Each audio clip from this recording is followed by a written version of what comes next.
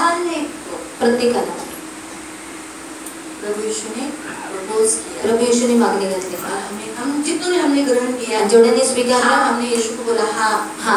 हम यीशु के हो गए। आपण येशूचे झालो और आपको मालूम है अबिगेल के बच्चे से अबिगेलच्या मुलांपासून.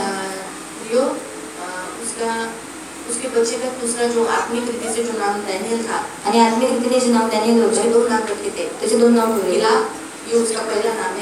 लेकिन उसका दूसरा नाम डैनियल रखा गया दुसरं नाव डॅनियल ठेवण्यात आलं वो उस लड़के से दावीद को कोई तकलीफ़ दाविदाला काही त्रास नाही झाला कुछ भी नहीं। काहीच दावीद के जितने बच्चे हुए दाविदाची जेवढी मुलं झाली। उसको दुख उठाना पड़ा। त्याच्यापासून त्याला दुःख उचलावं लागलं बुद्धिमान थी। अबिगेल बुद्धिमान होती। उसको एक बेटा हुआ। म्हणून तिला एक मुलगा झाला जो सेकंड नंबर उसकी जो अबिगेल पहली पत्नी दावीद की ये थी मिकल थी आणि दाविदाची पहिली पत्नी मिकल होती। की गई आणि त्याच्यापासून ती दूर करण्यात आली उसने वापस ले ली उसे।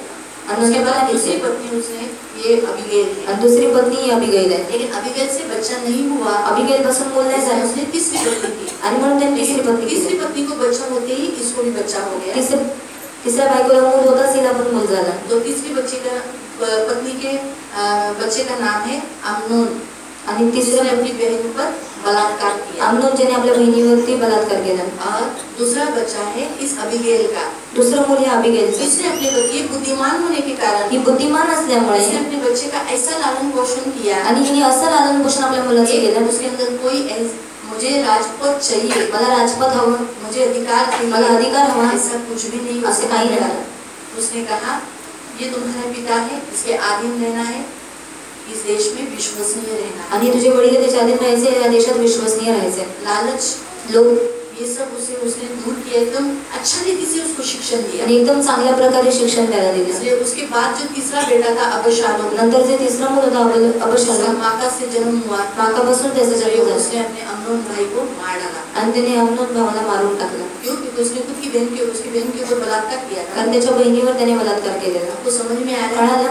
इसीलिए म्हणून. अभिज्ञान बुद्धिमान होने के कारण अबिगैल बुद्धिमान असल्यामुळे का पालन पोषण अच्छा आणि तिने आपल्या मुलाचं पालन पोषण चांगलं केलं प्रभु भी हमसे यही कहता है। प्रभू हेच म्हणतो तो प्रभु यीशु दा- जो है वो प्रभु यीशु का प्रतीक दिखता आणि दावीद प्रभू येशूचं प्रतीक दाखवतो जिसके द्वारा अभिगेल छुड़ाया गया यीशु मसीह के द्वारा आज हम छुड़ाए आणि येशूच्या द्वारे आज आपण तो सोडवलेलो अभिगेल ने जैसे बच्चे का लालन पोषण किया आणि अभिगेलने जसं मुलाचं लालन पोषण केलं हाँ वैसे हम भी जो आगे का पॉइंट प्रभु बताता है हम भी क्या करना हम हमारे बच्चों को अच्छा ऐसा शिक्षण देना जिससे हमारे प्रभु को कोई तकलीफ़ कोई हानि न हो। आणि आपण आपल्या मुलांना असं शिक्षण दिलं की ज्याच्यापासून प्रभूला हानी किंवा त्रास होऊ नये.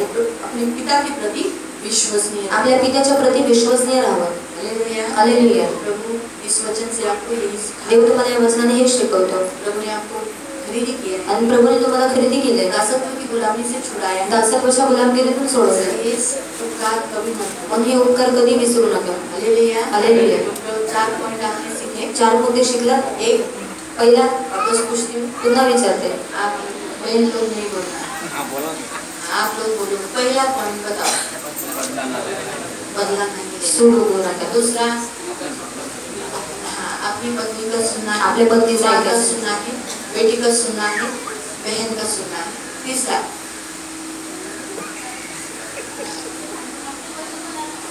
हाँ? बोला ना। आपल्या मुलांना आपण चांगले शिक्षण द्यायचे.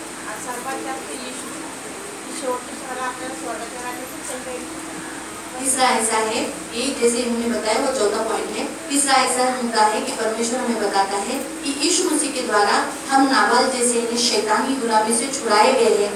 इसीलिए हम क्या करना चाहिए? इस उपकार को स्मरण रखकर चौथा पॉइंट हम हमारे बच्चों को क्या करना चाहिए? प्रभु का शिक्षण लेना है। अपने पिता के प्रति विश्वसनीयता रखना है। हालेलुया हालेलुया इस वचन से आपका आशीष देव तुम्हाला या वचनाने आशीर्वाद प्रार्थना